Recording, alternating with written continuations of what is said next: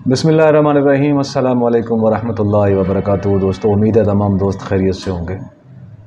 दोस्तों, अगर मेरी तरह आप भी आटा चक्की के शोबे से वाबस्ता हैं तो मेरी तरह आप भी परेशान होंगे। उसकी वजह यह है कि बिजली की जो हालत है, बिजली की जो बिल पिछले छः महीने से हम भर रहे हैं, वो इतनी ख़राब हालत है, इतने ज़्यादा बिल, इतना ज़्यादा टैक्सेस और इतना ज़्यादा उस पर एफ़ पी ए लग के आ रहा है कि बहुत सारे लोग जो है ना ये काम छोड़ना चाह रहे हैं।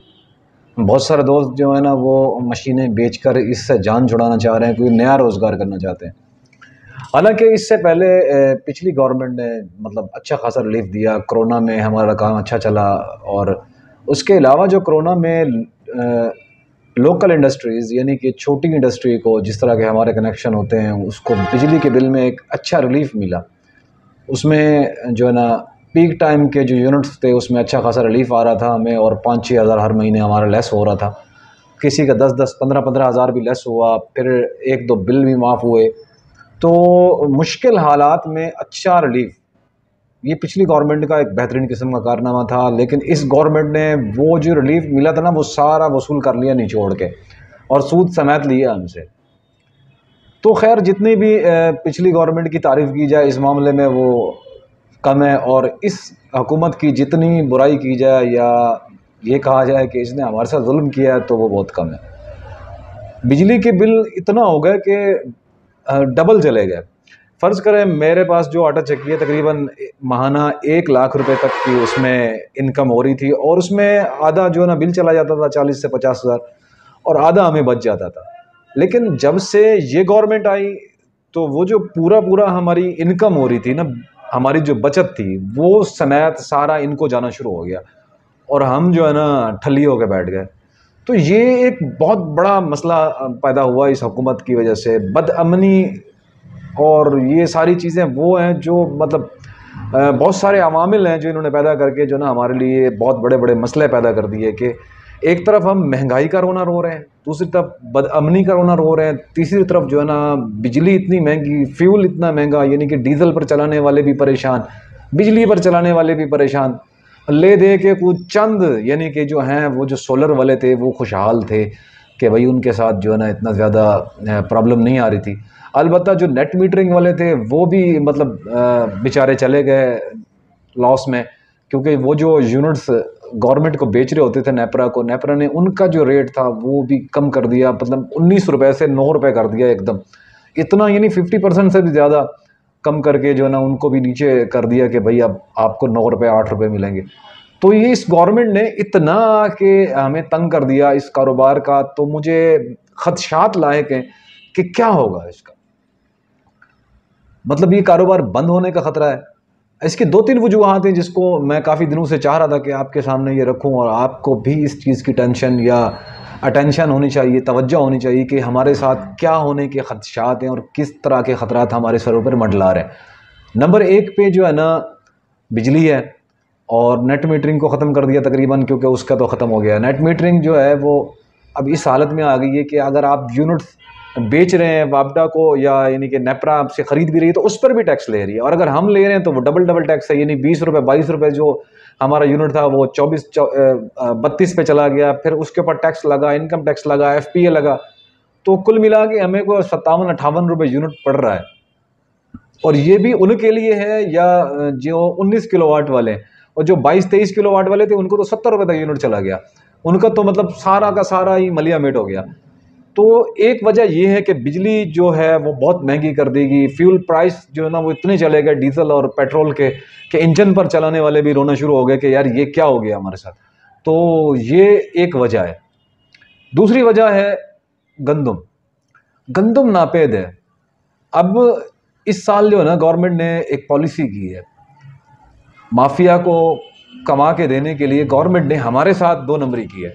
वो किस तरह की है कि पंजाब ने जो इमदादी रकम, यानी इमदादी कीमत नए साल की गंदम की की है, वो तीन हज़ार रुपये और सिंध गवर्नमेंट ने कर दी है चार हज़ार रुपये अब हुआ क्या कि इस सीज़न में, यानी सर्दियों में, गंदम वैसे शॉर्ट हो जाती है तो सिंध में बैठा हुआ माफिया ब्रोकर पंजाब में आकर ट्रकों के ट्रक खरीद रहा है और सिंध भेज रहा है, और स्मगलिंग हो रही है उसकी। यानी कि सिंध और पंजाब का जो बॉर्डर है, उसके पास भी पार भी जो चीज़ जा रही है तो वो भी स्मगलिंग होती है। तो वो स्मगल होकर सिंध चली जाती है। सिंध में बैठा हुआ ब्रोकर कहता है, भाई, मेरे पास चार हज़ार रुपये खरीदे, क्योंकि मेरे पास तो रेट यही है गवर्नमेंट का। आप आओ, बयालीस में ले लो, तिरालीस सौ में ले लो लोडिंग अनलोडिंग है, उस पर जो है ना, फिर ट्रांसपोर्ट है। जब वो वापस पंजाब में आएगी, वही चीज़ हमें पैंतालीस सौ में मिलेगी।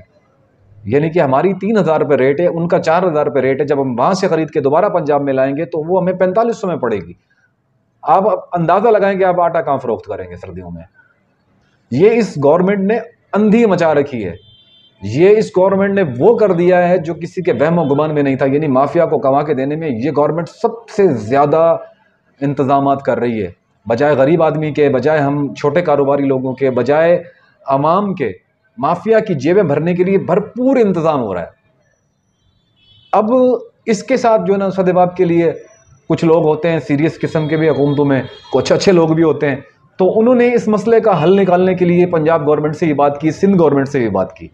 सिंध गवर्नमेंट से कहा कि आप पाँच सौ रुपये कम करें, पंजाब से कहा कि आप बत्तीस, तैंतीस सौ ना करें, आप पैंतीस सौ करें। वो पाँच सौ कम करके पैंतीस सौ करेंगे, आप पाँच सौ बढ़ाकर पैंतीस सौ करें तो दोनों का बराबर हो जाएगा, स्मगलिंग रुक जाएगी, इधर उधर से गंदम आना जाना बंद हो जाएगी, जहाँ जहाँ पड़ी है वहीं फ़रोख्त होगी, लेकिन इससे भी बहुत बड़ा मसला पैदा होगा। क्या मसला पैदा होगा, मैं आपको बताता हूँ। सबसे पहली बात, मैं इस चीज़ पे हैरान हूँ कि यार ये कह रहे हैं इमदादी कीमत, भाई किसकी इमदादी कीमत है? कौन भरेगा इसके पैसे इमदाद के? मैं गरीब आदमी, फ़र्ज़ करें। मैं दिहाड़ीदार मज़दूर हूँ। मैं साल की पहले दस पंद्रह मन गंदम ख़रीद लेता था। तो जब गंदम इतनी महँगी हो जाएगी, मेरे पास इतने पैसे कहाँ से आएँगे कि मैं साल की इतनी गंदम खरीदूँ? कौन खरीदेगा? इसकी इमदादी कीमत कौन भरेगा? वही भरेगा मज़दूर। मतलब गवर्नमेंट ने जो इमदादी कीमत का बहाना बनाया है कि फ्लड की वजह से बहुत सारा नुकसान हो गया, भाई कौन सा नुकसान हुआ? है अगर नुकसान हो गया तो उसके पैसे कौन भरेगा? फिर वही, फिर आवाम भरेगी। मतलब बेवकूफ़ बनाने की भी कोई हद होती है। थोड़ा बहुत बेवकूफ़ बनाया जाता है कौम को। ये तो बिल्कुल चे बनाने पर तुले हुए हमें। अब गरीब आदमी, दिहाड़ीदार मजदूर जो हज़ार रुपये दिहाड़ी कमाता है, वो महीने का बीस, पच्चीस हज़ार तो वैसे ही खा जाता है। वो क्या सेविंग करेगा और अगले साल गंदम खरीदेगा? अच्छा अब अगर फ़र्ज़ करें वो गंदम नहीं खरीदता तो वो क्या करेगा? वो आपसे आटा खरीदेगा। आपको पता है, आप जब आटा बेचेंगे तो आपको इससे कोई फ़ायदा नहीं होगा। क्यों नहीं होगा? मैं आपको बताता हूँ। आपको जो गंदम पैंतीस सौ है, वो आपको छत्तीस सौ से सैंतीस सौ रुपये पे आपको जो है ना चक्की पर पहुँचेगी आपकी। यानी ट्रांसपोर्ट है, लोडिंग, अनलोडिंग है। जब आपके पास सैंतीस सौ रुपये में गंदम पहुँचेगी, आप उसकी पिसाई करेंगे, आप उसकी सफ़ाई करेंगे, आप उस पर कॉस्ट लगाएँगे, आप उस पर मजदूरी लगाएँगे, आप उस पर प्रॉफिट लगाएँगे तो छत्तीस सौ, सैंतीस सौ वाली गंदम आपको अड़तीस सौ रुपये पड़ रही होगी और चार हज़ार रुपये में आपका जो है ना आटा आपको फ़रोख्त करना पड़ेगा। जब आप चार हज़ार में आटा सीज़न में फ़रोख्त करेंगे तो सर्दियों में तो पैंतालीस सौ में चला जाएगा वो। अब इससे होगा क्या? आपके मुकाबले में जो बड़ी मिल वाले हैं, वो आटा फ़रोख्त कर रहे होंगे पैंतीस सौ, चौंतीस सौ, बत्तीस सौ रुपये में। आप बेच रहे हैं चार हज़ार से ऊपर ऊपर बयालीस सौ, इकतालीस सौ रुपये में आपका आटा बिकेगा या उसका आटा बिकेगा। मज़दूर ने अगर उन हालात में, ये जो हालात पैदा हो रहे हैं, मज़दूर ने पहले ही गंदम नहीं ख़रीदी। वो मज़दूर जो सालाना गंदम ख़रीद के अपने घर पे स्टोर करता था, स्टॉक लगा कर रखता था पूरे साल का, वो तो नहीं ख़रीद पा रहा। अब कौन ख़रीदेगा वो से यही माफिया। ठीक है? तो आपके पास तो वैसे ही पिसाई के लिए आने वाली तीस मन के बजाय बीस मन पे आ जाएगी। क्योंकि बाकी बहुत कम लोग बचते हैं ना, जिनके पास पूरे साल के पैसे होते हैं यानी गंदम खरीद के रखने के, या ज़िम्मेदार हैं जो अपनी गंदम स्टॉक करके रखते हैं। तो आपको कितना नुकसान होगा? उसका दस मन आपका वैसे ही लेस हो जाएगा। अब दस मन जो लेस होगा, उसका आटा बिकना है। आटा किसका बिकेगा? आप बता लें। आप अंदाज़ा करें कि आटा किसका बिकेगा? तो मिल वालों का बिकेगा। आपका तो नहीं बिकेगा, क्योंकि आपका तो बहुत महँगा होगा आटा। हमारी जो हुकूमतें हैं, इनको किसी किस्म की कोई समझ बूझ है या नहीं है, इस बात पे आप अंदाज़ा लगा सकते हैं। उसकी वजह क्या होती है? उसकी वजह ये होती है कि हमारे यहाँ लोकल बॉडी बिल्कुल नाकाम है, ख़त्म है है ही नहीं। गवर्नमेंट की जो लोकल बॉडी होती है, जो मार्केट कमेटियाँ होती हैं, जो मार्केट में गवर्नमेंट के ऑफिशल्स होते हैं, जो गवर्नमेंट के बंदे होते हैं, वो आके चेक करते हैं कि मार्केट में क्या चीज़ अवेलेबल है, क्या चीज़ नहीं है अवेलेबल लेकिन मज़े की बात आपको बताऊँ, आटे के मामले में, बहरान से निपटने के लिए, बहरान का पता लगाने के लिए जितने भी गवर्नमेंट ऑफिशियल्स हैं, इनको ये तो नहीं पता कि घरों में कितनी गंदम है, किसके पास है, किसके पास नहीं है। ये तो अपना स्टॉक चेक करते हैं मिल वालों का स्टॉक चेक करते हैं। मिल वालों को बताते हैं मिल वालों से पूछते हैं। गवर्नमेंट को बता देते हैं कि इतना स्टॉक मौजूद है, इतने लोग हैं, इतने खाने वाले हैं। इनको ये नहीं पता कि पीछे जो मजदूर तबका, उसने गंदम नहीं खरीदी हुई, इनको अंदाज़ा ही नहीं होगा इस चीज़ का। तो गलत आदाद शुमार जाएँगे मिल वाले मनमानियाँ करेंगे। आपका कारोबार मुतासर होगा। उसकी वजह पता क्या है? मिल वालों की एसोसिएशन होती है, उनकी पूरी तंजीम होती है, उनकी बॉडी होती है। वो गवर्नमेंट को अपनी आदाद शुमार बताते हैं, अपने मसाइल बताते हैं, अपने मसाइल हल करवाते हैं। बिजली के मसले या लोड शेडिंग के मसले बता के हल करवाते हैं। गंदम के मसले हों तो हल करवाते हैं। गंदम स्टॉक कम हो गया, जो भी मसले मसाइल हैं वो हल करवा लेते हैं, लेकिन हमारे पास ऐसी एसोसिएशन है ही नहीं। किसी के पास, किसी किस्म की कोई तंजीम नहीं है। जो छोटी आटा चक्कियों के जो सिस्टम है, इसको संभाल कर गवर्नमेंट तक आदाद शुमार पहुँचाए कि क्या सूरत हाल है? गरीब कहाँ पर है? मालकान कहाँ पर हैं? उनकी क्या इस वक्त हैसियत है? गरीब की क्या हैसियत है? क़वत ख़रीद कितनी है गरीब की? गवर्नमेंट को इससे कोई सरोकार ही नहीं है, कुछ पता ही नहीं है। तो अगले साल बहुत बुरा है। कोशिश करें कि जितना हो सके एहतियात करें। यानी कि एहतियात से मुराद ये है कि अपने पास ज़्यादा से ज़्यादा स्टॉक करने की कोशिश करें। गंदम, ताकि पूरा साल हमें ज़रूरत के वक्त गंदम मुहैया होती रहे। और अगले साल चूँकि गंदम का रेट बहुत ज़्यादा होगा, पैंतीस सौ पंजाब गवर्नमेंट कर देगी तो फिर उस सूरत में हमें जो लॉस होगा, वो मैंने इसको बताने की कोशिश की है कि अगला साल हमारे आटा चक्की कारोबार के लिए शदीद ख़तरात का बायस है अगर आप सोलर लगा लेते हैं, कोशिश करके सोलर लगाएँ और सोलर पे बहुत ज़्यादा खर्चा है, बड़ी मोटरें चलाना मसला है तो आप छोटी आटा चक्की, छोटी मोटर लगाकर इसको कारामद बनाने की कोशिश करें और ज़्यादा से ज़्यादा गंदम को स्टॉक करने की कोशिश करें, क्योंकि इस हुकूमत ने हमारा बेड़ा गर्क करके छोड़ना है, सतिया नाश करके छोड़ना है। जब तक ये हुकूमत मौजूद है, मनहूसियत चल रही है पूरे मुल्क के ऊपर। हर चीज़ का स्टॉक मौजूद नहीं है मतलब मौजूद है वो गायब है। सिंध गवर्नमेंट में कितने स्कैंडल आए कि लाखों मन, लाखों टन गंदम जो है ना, वो बोरियों में मिट्टी निकली है। और जो बीच में अफसर थे, वो लेके मतलब उड़न शुरू हो गए और गंदम की जगह मिट्टी भर के उन्होंने स्टॉक में जमा करवा दी और स्टॉक को जब पता चला कि क्या क्या है तो इनको अरे क्या होनी है? अरबों डॉलर जो है ना, पूरी पूरी ख़त्म। गवर्नमेंट जो है ना, हज़म कर गई है और किसी के कान पर जू भी नहीं रेखती। जो लोग हकूमत में इनको लाने वाले थे, जिनको हम पहले भी चालीस साल से भुगत रहे हैं, उनको भी इस चीज़ का अंदाज़ा नहीं होना, एहसास नहीं होना। क्योंकि उन्होंने हमारी पीठ पर बैठ कर ही खाना है। यानी कि हमारी कमाई से ही खाना है, हमारे टैक्सेस से खाना है। कोई अंदाज़ा नहीं है किसी को।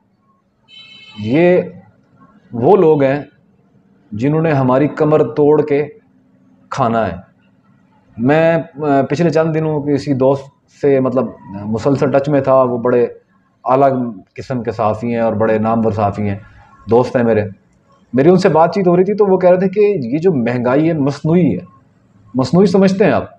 मसनू से मुराद ये कि जो इस गवर्नमेंट को लाने वाले थे ना, उन्होंने जब देखा कि वो एक बंदा संभल ही नहीं रहा इनसे, खान साहब तो इसका हल क्या है? उन्होंने कहा, जी, महँगाई इतनी कर दो कि कौम बेवकूफ़ बन जाए बस। महँगाई में सारा दिन ये अपना कमाने के चक्कर में रहे कि मैंने बिजली का बिल भरना है, मैंने घर का राशन लेना है, मैंने आटा ख़रीदना है, मैंने दाल ख़रीदनी है, मैंने गोश्त ख़रीदना है, मेहमान आएँगे, शादियाँ हैं, खुशियाँ, गमियाँ सब हमने जो है ना अटेंड करनी है तो उसके लिए हमें ज़्यादा कमाना पड़ेगा।